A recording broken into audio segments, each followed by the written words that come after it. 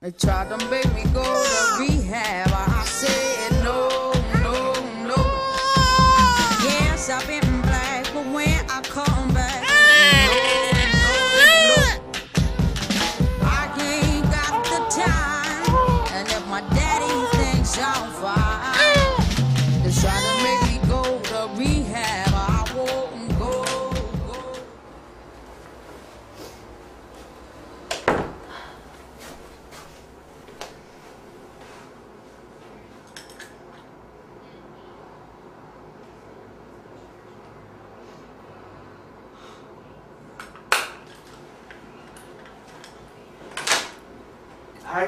Dr. Saunders. Hi. Nice to meet you. Nice to meet you too. I just want you to fill out these forms for me, okay? Okay. Just fill them out completely. Take your time. And if you have any questions, just let me know. Okay. How long is this gonna take? Because I have uh, some other obligations. I have to go to a monster truck show with my boyfriend. A monster truck show? Yes, sir. Okay. Well, the forms part is kind of really up to you. Typically, people take about 20 or 30 minutes. Then we'll have about an hour to do our interview. And then I'll need you to do some testing, and that may take two to three hours, depending on you. Okay. Okay? All right. Thank All you. right. I'll, I'll be right back with you. Okay. Carissa, Yes, sir. thanks for coming in today. I'm Dr. Stephen Saunders. I've been asked by the court to do a child custody evaluation with you today. And so we're just going to talk and be asking some questions. One of the things I want you to understand is that I'm not on anybody's side. I'm a complete and independent evaluator. So whatever you tell me, though, will be given to the court because this is a court evaluation. So sometimes when you come to see a therapist or you come to see a counselor or something along, along those lines, uh, you may expect a sense of confidentiality. And certainly, I want you to feel free to say what you feel like is the right thing to say or what you feel like is, is necessary, but always be with the truth and uh, just be straightforward with me. And I think that we can write a very good evaluation for you, and hopefully we'll be in the best interest of your child. Okay. Does that make sense? Yes, sir. Okay, good. Well, can you tell me a little bit about yourself and maybe what's kind of led up to what's going on? Okay. Um, I'm 26 years old. Um, I married young at 22, and uh, recently got divorced um, within the last six months. Mhm. Um, I have a three-year-old and an 18-month-old, both girls. And um, one of the reasons for the divorce was um, I wasn't faithful. I ended up uh, cheating on my husband with his mechanic, who I'm now currently with and living with. What, you cheating on your husband with his mechanic? Yes, sir. Okay. What, what does that mean with his mechanic? Um, just who he took his, you know, vehicles to. Oh, I see. Okay. Okay. Um, I've been living with him. Haven't been working. Um, have yet to find a job yet. Um, the entire time we were married, um, I received all my schooling and all that, but I never got a job because he wanted me to be a stay-at-home wife.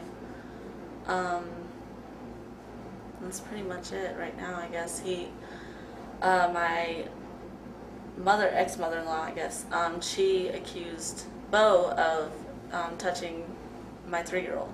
Oh, I see.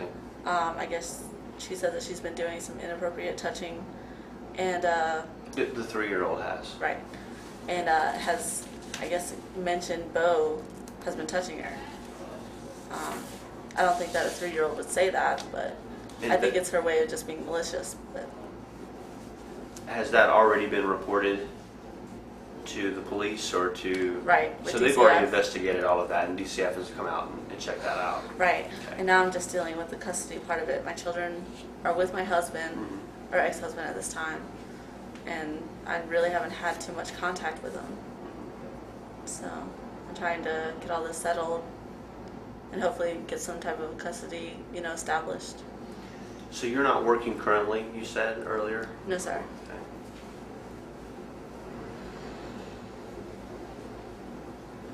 So just going back for a moment, when Madison, I believe, is, is your three-year-old, Uh, when Madison said that she felt Bo had touched her, she had who did she report this to? Um, my ex-husband's mother. Okay.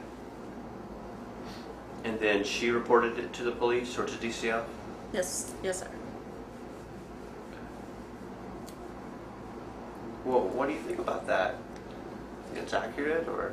I haven't noticed any different behavior from her or my 18 month old. Um, he's good with the kids.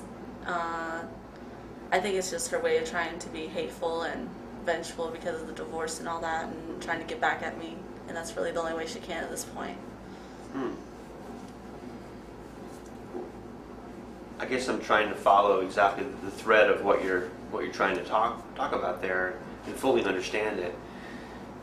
So as far as I understand what you're saying, it sounds like that you feel that your mother-in-law is trying to get back at you by accusing her son.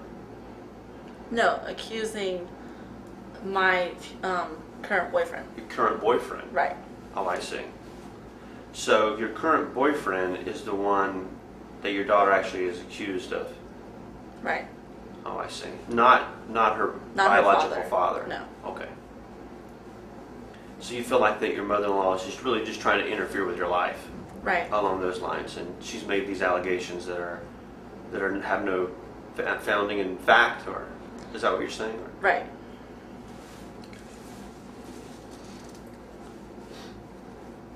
So you are you still getting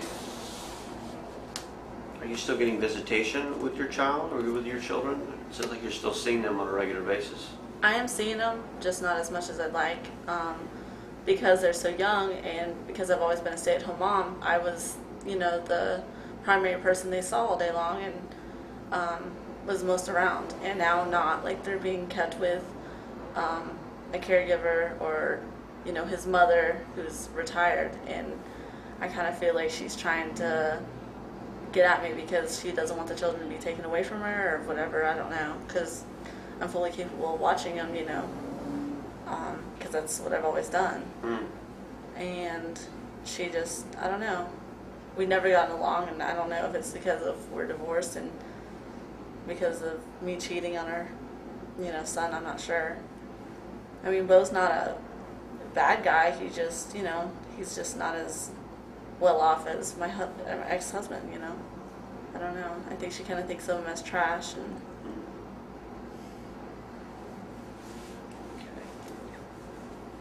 Because of what he does for a living, or I think so. Um, I mean, I haven't always been the greatest mom, but you know, I'm not the worst. And he's not a bad person, you know. He, you know, treats the girls right, but he hasn't really had too much time with them, obviously, since all the allegations. okay, I'm just looking over some of the paperwork that you filled out here, and you had reported that your own childhood was pretty stable and normal. hmm Go, can you tell me a little bit more about that, or what that means, or? Sure. Uh, my parents uh, divorced when I was really young. I don't remember it. Uh, and my mother remarried probably, I don't know, within five years of the divorce to my current stepfather. And um, I accumulated two step siblings in that time period. And in the beginning, he was, he kind of favored and you know his own children and treated us different but throughout the years he kind of decreased and he became better and we have a better relationship. It's not great but i wouldn't say my childhood was bad. I wasn't you know abused and stuff like some and i had what i needed so Okay.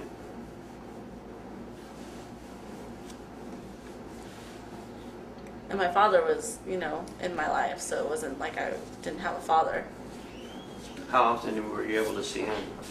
Um, usually on the weekends, pretty constant. He'd pick us up on Friday, have us back Sunday.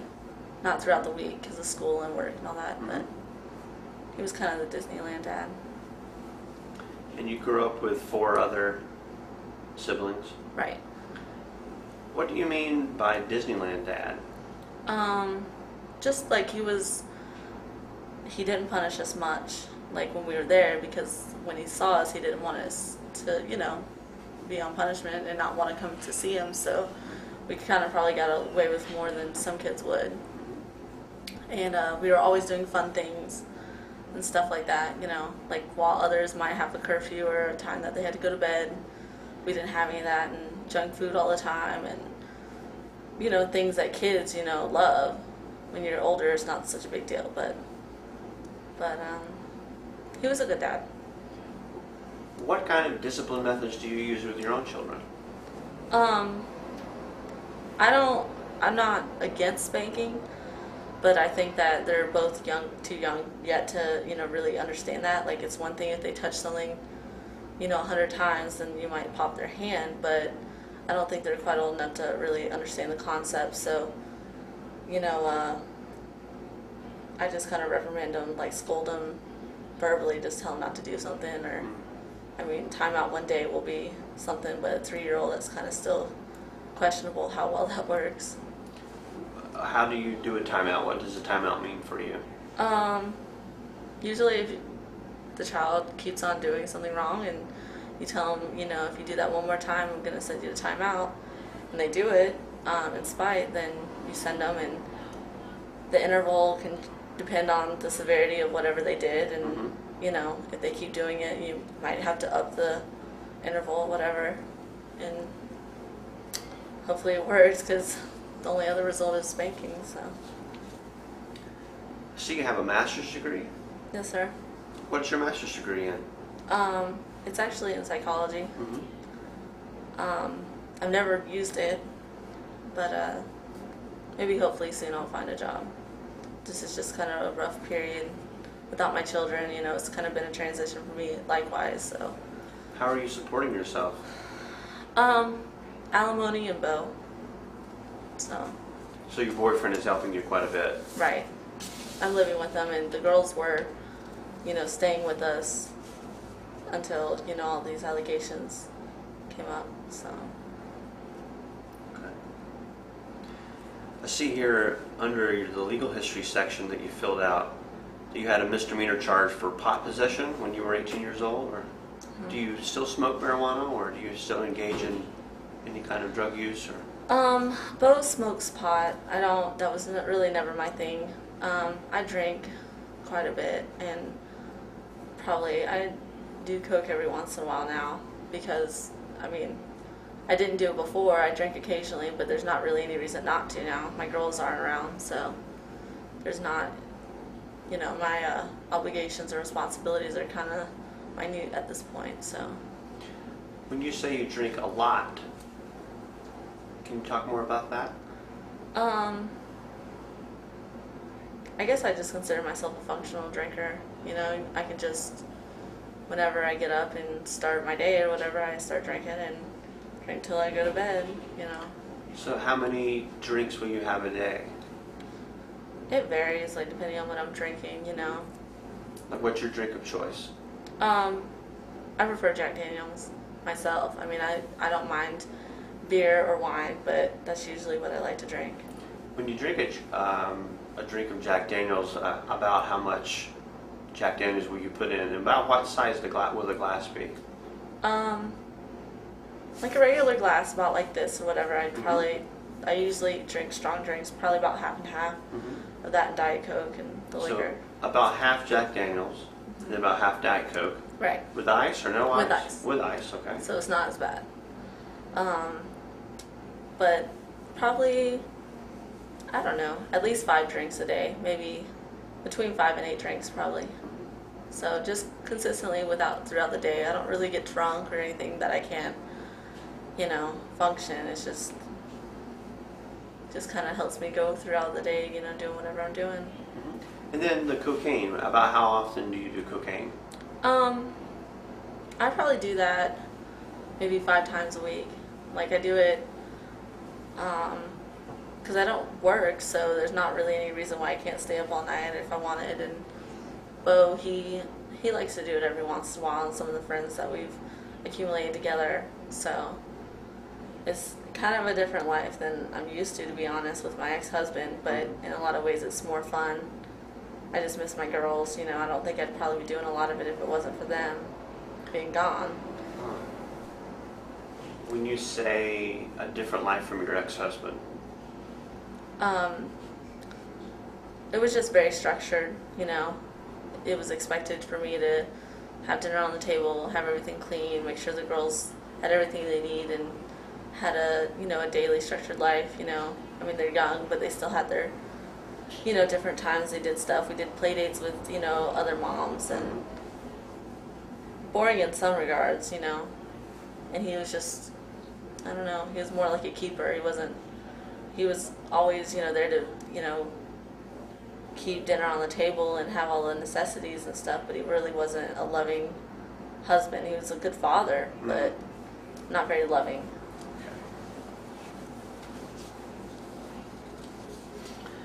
You wrote that you felt your ex-husband abused you, though.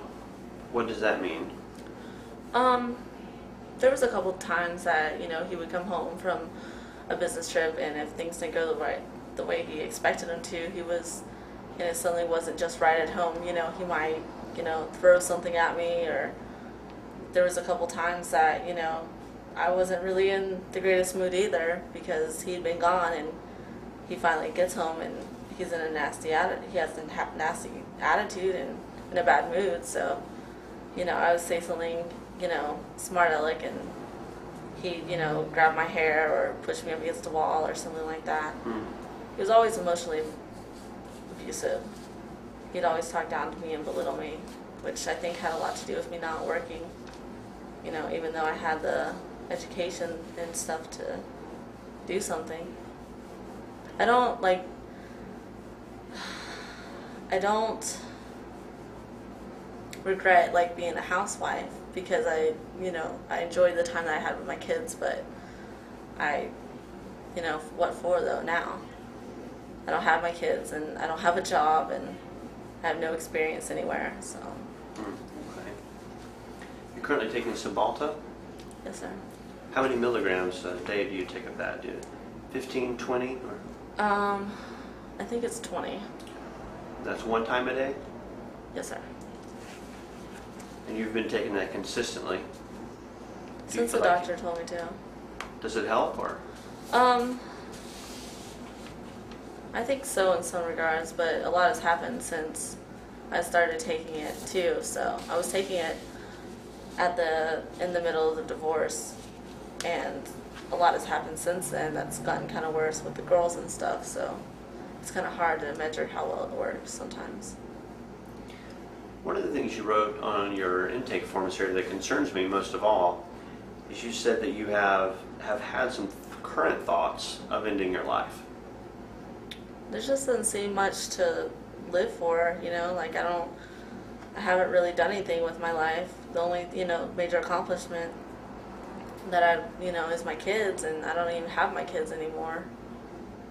And it's just disappointing, I guess. Hmm. Do you have a plan, or do you have the intent to do that?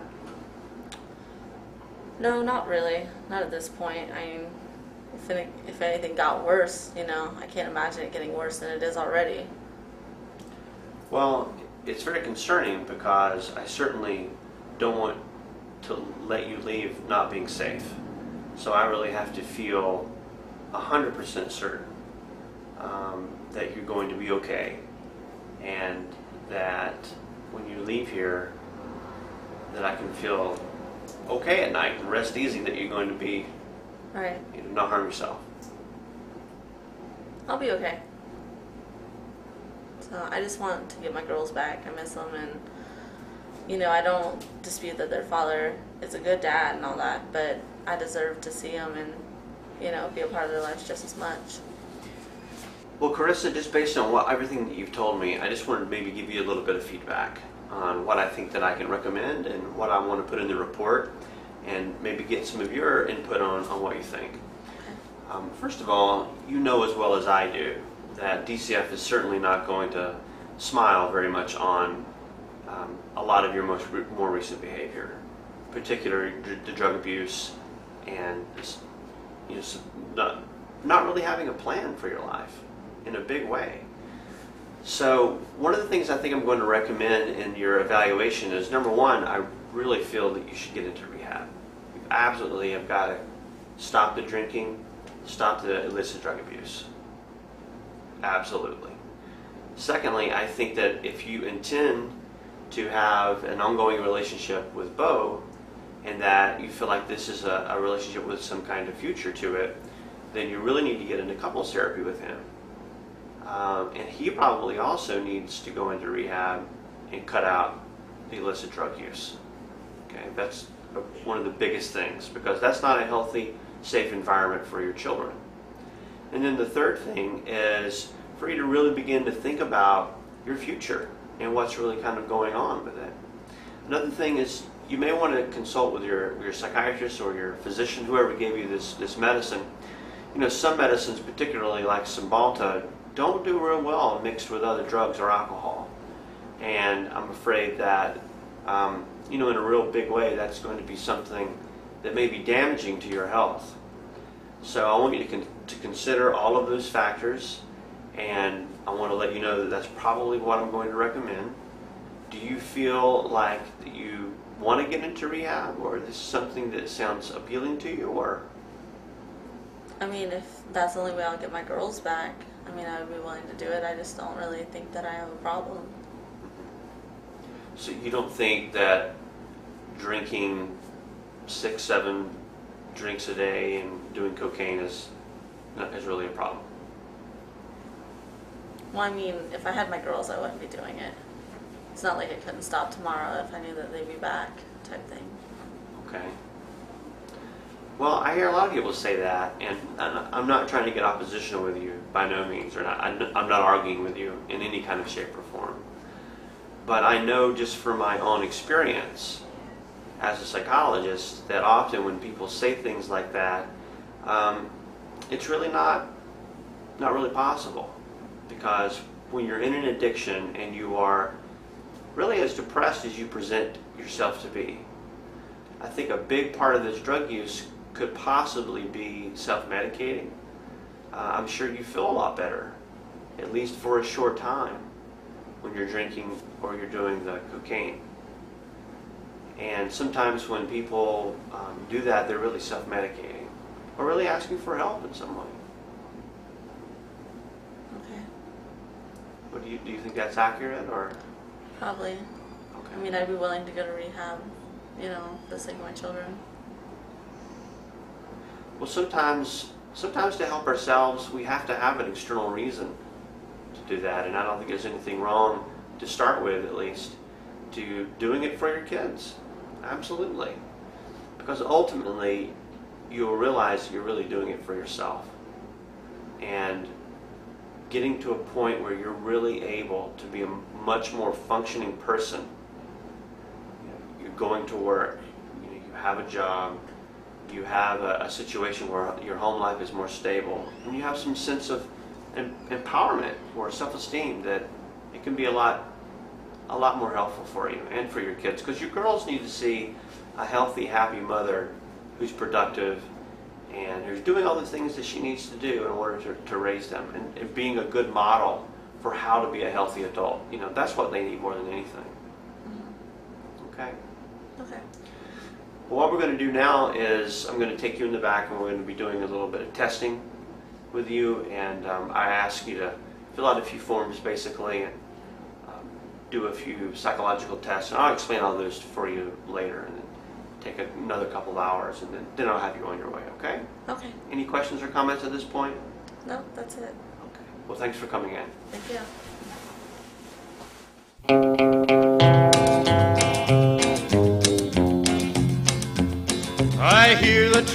Train a comin', it's rolling around the bend, and I ain't seen the sunshine since I don't know when.